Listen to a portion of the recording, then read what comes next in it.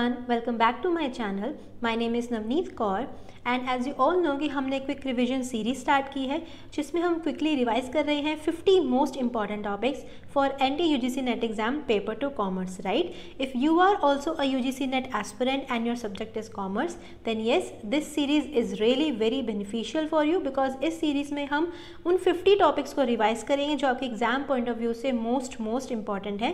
इन topics से आपको exam में क्वेश्चन डेफिनेटली देखने को मिलेंगे। सो so, मैंने पास्ट ईयर के पेपर्स को एनालाइज करके इन टॉपिक्स को आपके लिए सिलेक्ट किया है।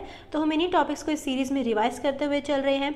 सो so, अगर आप अपनी एग्ज़ाम की प्रिपरेशन कर रहे हैं देन मेक श्योर आप इन टॉपिक्स को ज़रूर अच्छे से प्रिपेयर कर लें। एंड इनमें से कोई भी टॉपिक स्किप बिल्कुल मत करना बिकॉज़ इनमें से क्वेश्चन एग्ज़ाम में पूछा ही जाता है। फाइन सो so, हमारा जो सेकेंड टॉपिक चल रहा है दैट इज़ स्टैटिस्टिकल टेस्ट का। सो so, इस टॉपिक को लेकर हमारा आज का वीडियो फोर्थ वीडियो है। तो प्रीवियस थ्री वीडियोस में हमने पढ़ा about null hypothesis alternate hypothesis क्या होते हैं then parametric test and non parametric test क्या होते हैं उनके बारे में पढ़ा राइट एंड लास्ट वीडियो में हमने पी वैल्यू क्या होती है लेवल ऑफ़ सिग्निफिकेंस क्या होता है एंड क्रिटिकल वैल्यू क्या होती है इन सब के बारे में पढ़ा। फाइन सो so, आज इस फोर्थ वीडियो में हमें सेकेंड टॉपिक को वाइंड अप करते हुए हम पढ़ेंगे आज। Type one error and type two error के बारे में right and what is power of test वो भी इस वीडियो में आज हम कवर करेंगे fine so before moving further you can just have a look at here this is something about me which you can just read out Also guys, you can follow me on Instagram and Facebook as well as join my Telegram channel for daily doses of practice questions, previous year questions and updates regarding UGC NET exam. Fine. So let's get started.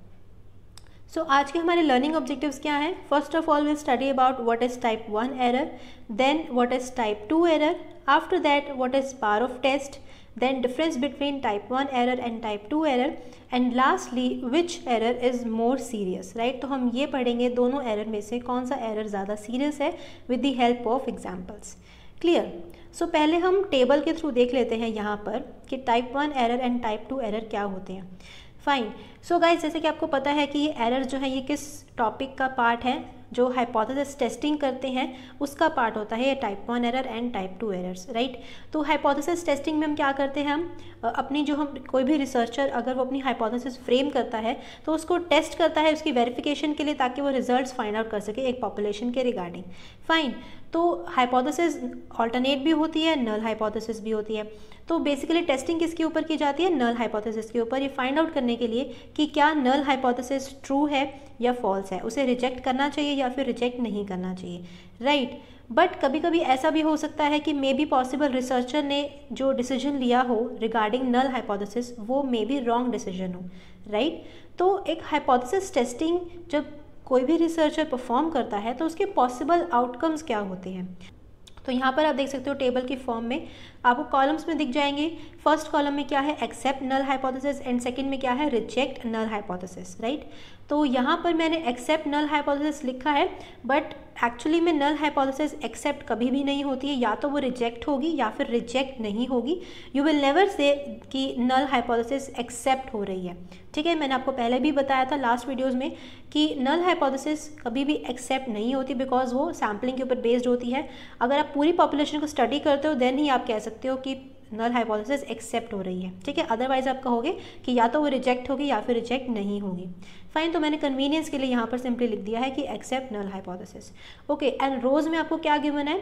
Null hypothesis is true and second null hypothesis is false fine तो जब कोई researcher hypothesis testing करेगा test perform करेगा and जब null hypothesis true होगी, उस case में researcher क्या करेगा? He will accept the null hypothesis right तो ये क्या हो गया? करेक्ट डिसीज़न यहाँ पर कोई एरर नहीं है. नल हाइपोथेसिस ट्रू है एंड उसको एक्सेप्ट कर लिया गया है. This is correct decision but what if null hypothesis is true and researcher rejects it right null hypothesis true है बट रिसर्चर उसको रिजेक्ट कर रहा है. यहाँ पर तो एरर कमिट हो गया. तो इस एरर को बोला जाता है टाइप वन एरर फाइन तो अच्छे से याद कर लो कि जब नल हाइपोथेसिस ट्रू है एंड उसे रिजेक्ट कर दिया जाए the error which is committed here is called as type one error and it is also called as alpha error why because the probability of committing type one error is denoted by alpha clear तो जो भी chances हैं, एक researcher के type one error commit करने के, उसकी probability यानी उसके चांसेस को हम अल्फ़ा से डिनोट करते हैं। क्लियर अब क्योंकि आपको पता है प्रोबेबिलिटी का जो टोटल होता है वो वन के इक्वल होता है तो अगर टाइप वन एरर की प्रोबेबिलिटी अल्फ़ा से डिनोट की जाती है तो जो आप करेक्ट डिसीज़न लोगे, उसकी प्रोबेबिलिटी क्या होगी? One minus alpha clear now second case if null hypothesis is false तो उस केस में जब रिसर्चर नल हाइपोथेसिस को रिजेक्ट कर देगा तो वो क्या होगा? Correct decision right means null hypothesis false है एंड उसे रिजेक्ट कर दिया गया है तो this is correct decision but what if null hypothesis is false and researcher accept it तो यहाँ पर एरर कमिट हो गया। तो इस एरर को कहते हैं type two error where null hypothesis is false and researcher does not reject it and researcher does not reject it clear तो टाइप टू एरर को हम बीटा एरर कहते हैं। Why because probability of committing type two error is denoted by beta clear तो type two error commit करने की जो भी प्रोबेबिलिटी है, जो भी चांसेस हैं, उसे हम बीटा से डिनोट करते हैं। अब क्योंकि प्रोबेबिलिटी का सम टोटल वन होता है तो जो करेक्ट डिसीज़न होगा, उसकी प्रोबेबिलिटी क्या होगी? वन माइनस बीटा क्लियर तो यहाँ से आपको पता चल गया टाइप वन एरर क्या होता है एंड टाइप टू एरर क्या होता है। फाइन नाउ जो हमने प्रोबेबिलिटी फाइंड आउट की वन माइनस बीटा ये कब आती है? When null hypothesis is false and researcher rejects it clear तो इसको हम कहते हैं पार ऑफ़ टेस्ट तो power of test is denoted by one minus beta तो पार ऑफ़ टेस्ट है क्या? It is the probability of rejecting the null hypothesis when it is false तो जब भी नल हाइपोथेसिस फॉल्स हो और उसे रिजेक्ट कर दिया जाए दिस इज़ करेक्ट डिसीज़न और इसे, इसकी प्रोबेबिलिटी को हम शो करते हैं वन माइनस बीटा से एंड इसे हम कहते हैं पार ऑफ़ टेस्ट और probability of avoiding a type two error तो यानी आप टाइप टू एरर की टाइप टू एरर को अवॉइड करने की प्रोबेबिलिटी को भी आप क्या कह सकते हो? पार ऑफ़ टेस्ट क्लियर तो टाइप टू एरर आपका कमिट ना हो और आप करेक्ट डिसीज़न लो, इसके लिए क्या करोगे? आप पावर ऑफ़ टेस्ट को आपको इंक्रीज़ करना चाहिए राइट तो पावर ऑफ़ टेस्ट कैसे इंक्रीज़ हो सकता है? Power of test increases by increasing the sample size and in turn reducing the type 2 error. तो आप टाइप 2 एरर को रिड्यूस करके सैंपल साइज़ को इंक्रीज करके पावर ऑफ़ टेस्ट को इंक्रीज कर सकते हो। ठीक है? क्योंकि आपको करना क्या है? आपको जब नल हाइपोथेसिस फॉल्स हो तो आपको उसको रिजेक्ट करना है right and this is called as power of test तो यहाँ पर आपके टाइप टू एरर की प्रोबेबिलिटी को कम करने के लिए एंड आपकी प्रोबेबिलिटी को इंक्रीज़ करने के लिए किसकी करेक्ट डिसीज़न की, उस केस में आपको क्या करना चाहिए? पावर ऑफ़ टेस्ट को इंक्रीज़ करना चाहिए, वो कैसे करोगे? सैंपल साइज़ को इंक्रीज़ करके। या फिर आप अल्फ़ा लेवल को भी इंक्रीज़ करके अपने पावर ऑफ़ टेस्ट की प्रोबेबिलिटी को इंक्रीज़ कर सकते हो। ये हम आगे पढ़ेंगे अभी, ठीक है? तो पावर ऑफ़ टेस्ट क्या है? When the when the null hypothesis is false and the researcher rejects it उसकी प्रोबेबिलिटी को बोलते हैं power of test and it is denoted by one minus beta fine तो पावर ऑफ़ टेस्ट यहाँ से clear हो गया। अब हम देखते हैं type one error and type two error के कुछ पॉइंट्स ऑफ़ डिफरेंस ताकि आपको और अच्छे से क्लियर हो जाए कि दोनों में क्या डिफरेंस होता है। फर्स्टली टाइप वन एरर क्या है? Probability of rejecting the null hypothesis when it is true ठीक है? एंड टाइप टू एरर हमने क्या पढ़ा? Probability of accepting the null hypothesis when it is false तो इसको लर्न करने का तरीका क्या है? जैसे हम ट्रू और फॉल्स ऑर्डर में बोलते हैं ट्रू फॉल्स ऐसे ही जब नल हाइपोथेसिस ट्रू होगी, उस केस में जो एरर कमिट होगा, वो टाइप वन एरर होगा. एंड जब नल हाइपोथेसिस फॉल्स होगी, उसको एक्सेप्ट कर लोगे तो वो जो एरर होगा, वो टाइप टू एरर होगा. तो इस तरह से आप इसको लर्न कर सकते हैं. Second point is also called as false positive तो टाइप वन एरर को हम फॉल्स पॉजिटिव भी कहते हैं एंड टाइप टू एरर को हम फॉल्स नेगेटिव कहते हैं. तो keep that in mind third is error of commission type one error को एरर ऑफ़ कमीशन कहा जाता है एंड टाइप टू एरर को एरर ऑफ़ ओमिशन कहा जाता है. Next also refer to as error of first kind तो type one error है उसे हम एरर ऑफ़ फ़र्स्ट काइंड भी कहते हैं एंड टाइप टू एरर को एरर ऑफ़ सेकेंड काइंड ठीक है? Now probability is denoted by alpha तो येस yes, हमने अभी पढ़ा कि टाइप वन एरर को कमिट करने की जो प्रोबेबिलिटी है उसे हम अल्फ़ा से डिनोट करते हैं where as type two error की जो प्रोबेबिलिटी है, उसे हम बीटा से डिनोट करते हैं। After that also called as alpha error अब क्योंकि एल्फा के एल्फा से डिनोट करते हैं probability so type one error is also called as alpha error and type two error is also called as beta error fine next is also called as the significance level तो type one error को हम significance level भी कहते हैं। Why because significance level क्या होता है? हमारा एक्चुअली एल्फा ही होता है वो। तो जो भी रिसर्चर हाइपोथेसिस टेस्टिंग करने से पहले जो सिग्निफिकेंस लेवल सेट करता है, जो उसे करना होता है राइट right? तो उस सिग्निफिकेंस लेवल को किससे डिनोट करते हैं? अल्फ़ा से। एंड वही प्रोबेबिलिटी क्या होती है? टाइप वन एरर कमिट करने की। तो टाइप वन एरर को हम सिग्निफिकेंस लेवल भी कहते हैं। एंड टाइप टू एरर को हम जो टाइप टू एरर होता है that is related to the power of test तो ये आपको याद रखना है कि कौन सा एरर पावर ऑफ़ टेस्ट से रिलेटेड होता है? वो टाइप टू एरर होता है बिकॉज़ पावर ऑफ़ टेस्ट का जो प्रोबेबिलिटी है, उस, उसे हम किससे डिनोट करते हैं? हमने अभी पढ़ा। वन माइनस बीटा से। Right right?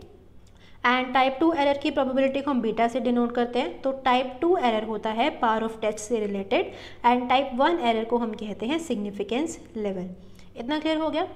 Last is error can be reduced by reducing the alpha level तो टाइप वन एरर की प्रोबेबिलिटी कम हो रिसर्चर जो है इनकरेक्ट uh, डिसीज़न ना ले वो टाइप वन एरर ना कमिट करे उसके लिए वो इस एरर को कैसे रिड्यूस कर सकता है? By reducing the alpha level ठीक है तो अल्फ़ा लेवल जो होता है, वो जनरली फाइव परसेंट पे सेट किया जाता है राइट तो उस फाइव परसेंट को वो और भी कम करके टाइप वन एरर की प्रोबेबिलिटी को रिड्यूस कर सकता है एंड टाइप टू एरर की प्रोबेबिलिटी को रिड्यूस कैसे किया जा सकता है? By either increasing the alpha level और increasing the power of test ठीक है? या तो वो अल्फ़ा लेवल को इंक्रीज़ कर दे means more than five percent वो सेट कर दे अल्फ़ा लेवल को, या फिर वो पावर ऑफ़ टेस्ट को इंक्रीज़ करे। और वो कैसे इंक्रीज़ कर सकता है? By increasing the sample size जो हमने अभी पढ़ा कि पावर ऑफ़ टेस्ट को वो इंक्रीज़ कर सकता है by increasing the sample size या फिर वो अल्फ़ा लेवल को इंक्रीज़ कर सकता है। दोनों ही केसेस में he will be able to reduce type two error fine क्योंकि देखो एरर्स होने की पॉसिबिलिटी हमेशा रहेगी बिकॉज़ स्टैटिस्टिक्स में हम जो भी काम कर रहे हैं, वो प्रोबेबिलिटी के बेसिस पे कर रहे हैं। हम जो लास्ट में डिसीज़न लेंगे कि नल हाइपोथेसिस को रिजेक्ट करना है या नहीं करना, वो किस बेसिस पे होता है? पी वैल्यू के बेसिस पे। पी वैल्यू क्या होता है? प्रोबेबिलिटी वैल्यू हम उसे कंपेयर करते हैं लेवल ऑफ़ सिग्निफिकेंस के साथ राइट जो हमने लास्ट वीडियो में पढ़ा था। क्या पढ़ा था हमने? कि जो पी वैल्यू होती है, उसे हम कंपेयर करते हैं लेवल ऑफ़ सिग्निफिकेंस के साथ which is called as alpha तो अल्फ़ा की वैल्यू क्या सेट करते हैं जनरली फाइव परसेंट और you can say zero point zero five तो अगर P value is less than होता है ज़ीरो पॉइंट ज़ीरो फाइव उस केस में हम क्या करते हैं? रिजेक्ट करते हैं नल हाइपोथेसिस को। और अगर पी वैल्यू जो है वो ग्रेटर देन होता है ज़ीरो पॉइंट ज़ीरो फाइव उस केस में हम क्या करते हैं? एक्सेप्ट करते हैं या फिर रिजेक्ट नहीं करते नल हाइपोथेसिस को। क्लियर तो क्योंकि हम प्रोबेबिलिटी के बेसिस पे ही सब डिसीजंस ले रहे हैं तो एरर्स कमिट होने के चांसेस होते हैं। तो ऐसे में कोई भी रिसर्चर एरर को रिड्यूस कैसे कर सकता है? उन दोनों में हमने पढ़ लिया कि टाइप वन एरर को, वो अल्फ़ा लेवल को रिड्यूस करके कर सकता है, और टाइप टू एरर को रिड्यूस कैसे कर सकता है? अल्फ़ा लेवल को इंक्रीज करके। तो अभी ये कैसे होगा, ये हम एग्जाम्पल्स के थ्रू अभी समझेंगे। ठीक है, इतना आपको क्लियर हो गया? Okay. Now the chances of committing these two types of errors are inversely proportional तो ये चीज़ ध्यान रखनी है कि जब भी कोई भी रिसर्चर किसी भी एक टाइप के एरर को रिड्यूस करने जाएगा तो प्रोबेबिलिटी uh, इंक्रीज हो जाएगी कि दूसरा एरर कमिट होगा। ठीक है? मतलब एक को रिड्यूस करेगा तो दूसरा इंक्रीज हो जाएगा। दूसरे को रिड्यूस करेगा तो फ़र्स्ट वाला इंक्रीज हो जाएगा।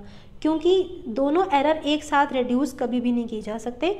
या तो एक इंक्रीज़ करेंगे तो दूसरा डिक्रीज़ होगा और दूसरा इंक्रीज़ करना होगा तो सेकेंड फ़र्स्ट वाला जो है वो डिक्रीज़ होगा। ठीक है? तो इन्वर्सली प्रोपोर्शनल है।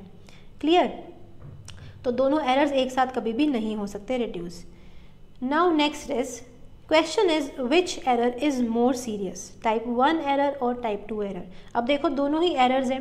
ठीक है? दोनों में ही हम इनकरेक्ट डिसीज़न ले रहे हैं रिसर्चर इनकरेक्ट डिसीज़न ले रहा है। तो दोनों में से कौन सा एरर ज़्यादा सीरियस है? So, the answer to this question is it depends upon the situation तो जैसी आपकी सिचुएशन होगी, उस पर डिपेंड करेगा that whether type one error is serious और टाइप टू एरर ठीक है? सिचुएशन पे डिपेंड करेगा। तो जो भी उस सिचुएशन के अकॉर्डिंग एरर सीरियस होगा रिसर्चर को फोकस करना है कैसे वो उस एरर को रिड्यूस कर सके। क्लियर तो अभी हम एग्जाम्पल्स के थ्रू समझते हैं कि किस सिचुएशन में कौन सा एरर ज़्यादा सीरियस है?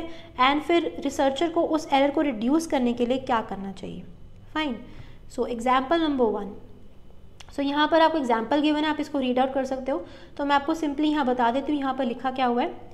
So Kartik is a person who wants to start his own food supply business right उसको अपना एक फ़ूड सप्लाई बिज़नेस स्टार्ट करना है। तो उसको सिटीज़ चूज़ करने हैं, किन सिटीज़ में अपना बिज़नेस वो रन कर सकता है, जहाँ पर उसको अपनी फ़ूड सप्लाई करनी है। तो वो क्या करेगा? रेजिडेंट से सर्वे करेगा ताकि उसको पता चले कि किस पर्टिकुलर सिटी में डिमांड ज़्यादा है, जहाँ पर वो बिज़नेस करके अपना प्रॉफिट अर्न कर सकता है। तो ये उसको सर्वे करके डिसाइड करना है। तो अब वो क्या करेगा? जहाँ पर डिमांड ज़्यादा होगी, वो वहीं पे अपनी फ़ूड सप्लाई करेगा, वहीं पे अपना बिज़नेस रन करेगा। तो इसके लिए वो क्या हाइपोथेसिस फ्रेम करेगा? नल हाइपोथेसिस क्या होगी? The demand is not high enough and alternate hypothesis क्या होगी? The demand is high enough ठीक है? तो नल हाइपोथेसिस में क्या होता है कि वेरिएबल्स में कोई रिलेशन नहीं होता है ऑल्टरनेट में क्या होता है? वेरिएबल्स में रिलेशन होता है। तो इस हिसाब से उसने फिर अपनी दोनों हाइपोथेसिस फ्रेम कर ली। फाइन अब क्या होगा? Consequences of type one error तो टाइप वन एरर अगर कार्तिक कमिट करता है तो उस केस में क्या कॉन्सिक्वेंसेज होंगे उसके? तो टाइप वन एरर क्या होता है? When null hypothesis is true and researcher rejects it right तो नल हाइपोथेसिस क्या है कि डिमांड हाई नहीं है बट कार्तिक ने समझ लिया कि डिमांड वहाँ पर हाई है फाइन क्योंकि नल हाइपोथेसिस यहाँ पर ट्रू है। टाइप वन एरर कब होता है? जब नल हाइपोथेसिस ट्रू हो एंड उसको रिजेक्ट कर दिया जाए। तो नल हाइपोथेसिस क्या है? कि उस पर्टिकुलर सिटी में डिमांड हाई नहीं है and it is true but Kartik ने उसको रिजेक्ट कर दिया। इट मीन्स उसे लग रहा है कि वहाँ पर डिमांड हाई है। तो उसने क्या किया? उसने उस सिटी को चूज़ कर लिया जहाँ पर डिमांड एक्चुअली हाई नहीं थी। Right right? तो क्या इसके कॉन्सिक्वेंसेज होंगे? Kartik will end up choosing the cities where demand wasn't high enough right right? कि नल हाइपोथेसिस ट्रू थी डिमांड हाई नहीं थी, उसने गलत समझ लिया। कार्तिक ने कार्तिक को लगा डिमांड हाई है तो उसने वो सिटीज़ चूज़ कर ली जहाँ पर डिमांड एक्चुअली में हाई नहीं थी। फाइन अब टाइप टू एरर के कॉन्सिक्वेंसेस क्या होंगे? तो देखो टाइप टू एरर कब कमिट होगा?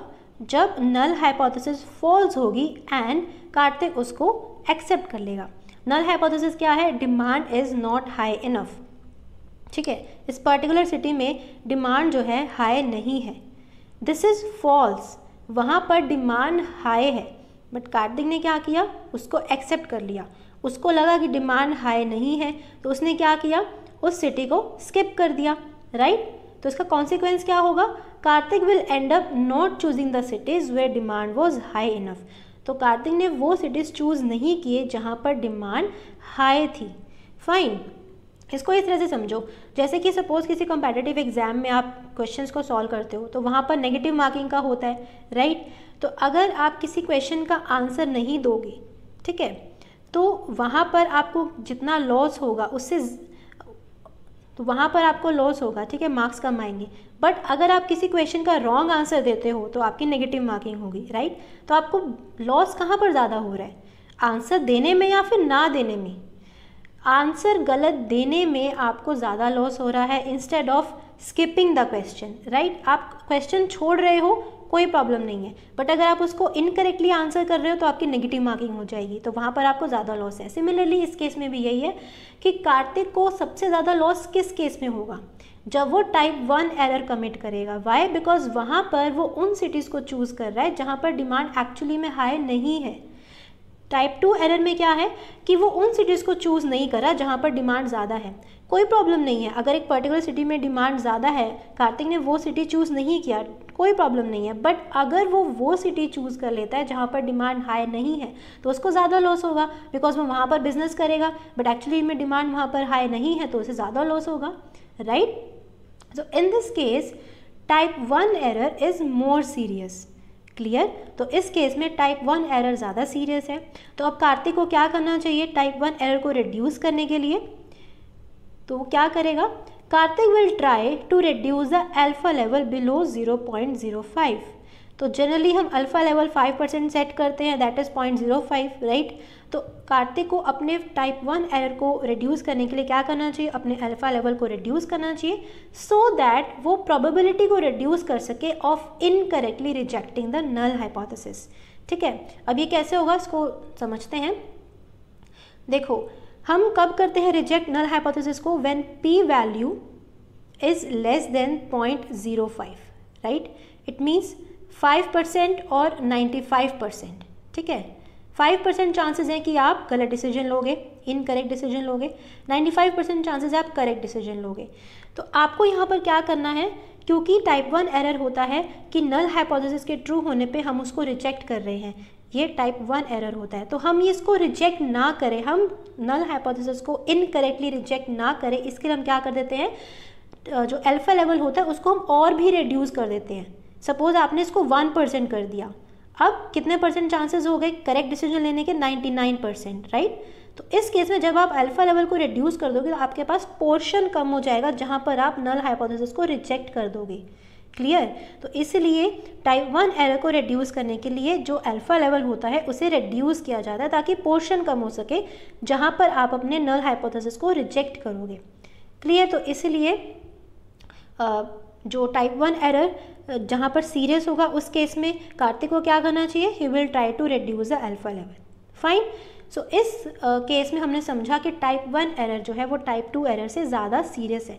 अब यहाँ पर अगर कार्तिक जो है टाइप वन एरर को रिड्यूस करना चाहेगा एंड वो अल्फ़ा लेवल को रिड्यूस करेगा बिलो फाइव परसेंट तो टाइप टू एरर इंक्रीज होने की प्रोबेबिलिटी बढ़ जाती है।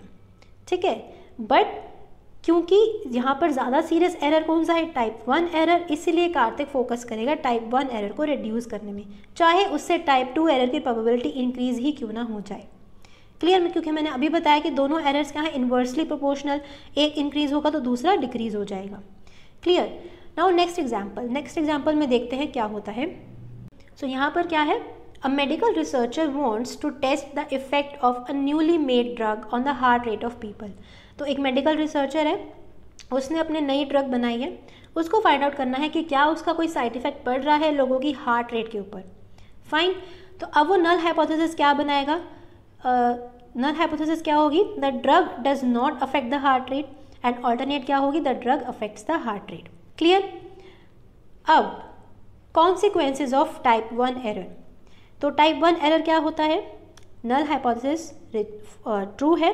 एंड रिसर्चर उसको रिजेक्ट कर रहा है राइट right? यहाँ पे नल हाइपोथेसिस क्या है? The drug does not affect the heart rate means drug जो है हार्ट रेट को अफेक्ट नहीं कर रही है this is true but researcher ने इसको रिजेक्ट कर दिया।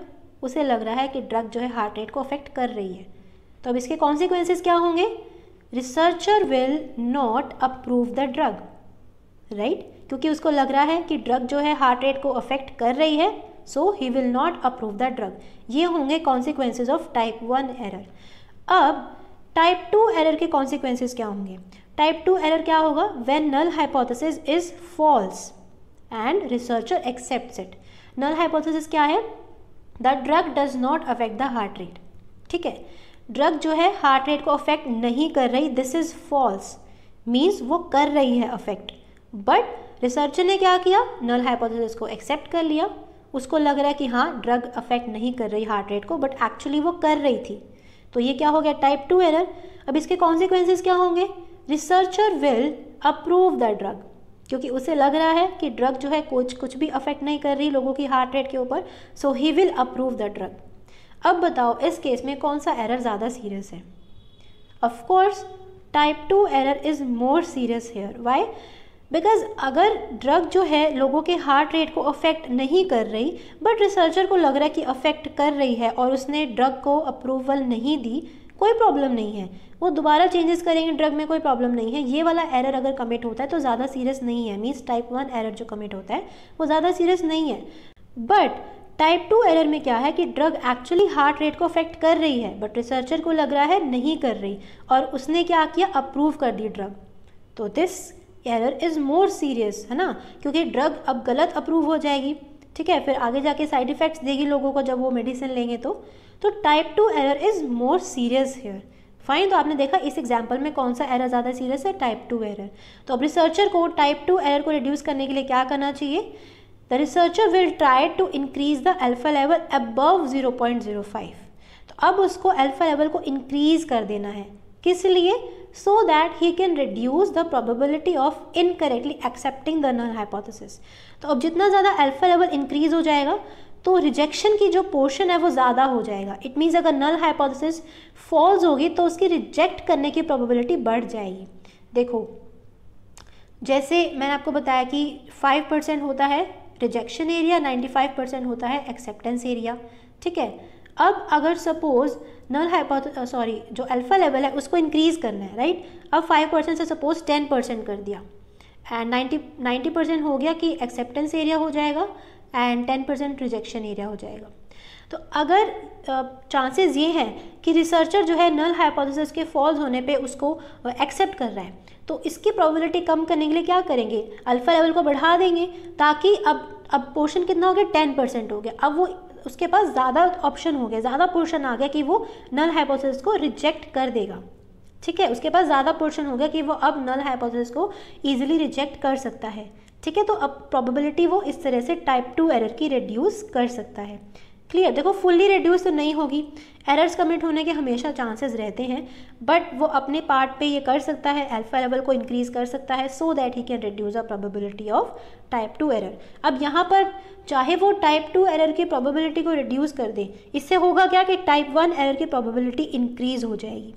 क्लियर बट फोकस उसका किस पे होगा कि टाइप टू एरर को रिड्यूस करे, क्योंकि इस पर्टिकुलर सिचुएशन में type two error is more serious clear so इस तरह से कौन सा एरर ज़्यादा सीरियस है it depends upon the situation तो उसके अकॉर्डिंग फिर रिसर्चर को ये स्टेप लेना है कि क्या उसे अल्फ़ा लेवल को इंक्रीज करना है या फिर डिक्रीज करना है. Fine guys so in this video we discussed about type one error type two error differences between them what is power of test and which error is more serious so I hope आपको इस video से समझ आ गया होगा, आपको video useful लगी होगी। If yes then do give it a big thumbs up and don't forget to subscribe to my channel for more videos regarding U G C NET exam so I meet you in the next video till then keep learning and thank you so much for watching